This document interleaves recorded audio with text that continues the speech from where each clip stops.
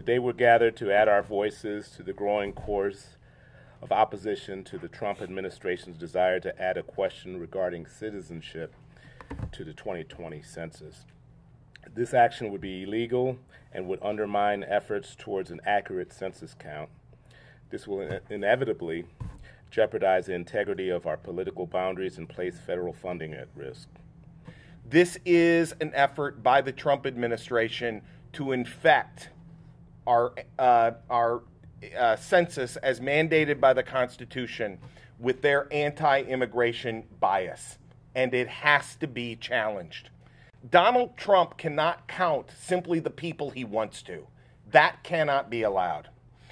Adding a citizenship question to the 2020 census is the ultimate voter suppression tactic. The question of citizenship could mean that diverse communities around the country lose their voice in Congress. Indivisible Chicago strongly denounces this action by the Commerce Department as nothing less than a hyperpartisan effort to execute a nationwide voter suppression effort. Having a full and complete census count is essential to painting a complete picture of the growing Asian American community in Chicago and Illinois and across the country. It helps us to exercise our power and advocate for our community's needs, whether it's demanding more federal resources or keeping our communities together and redistricting.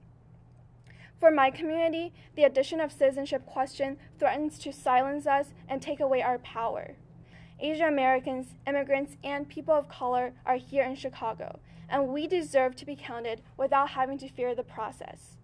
We're calling on local leaders and elected officials to reject this change and demand that the government remove this harmful question from the 2020 census. Thank you.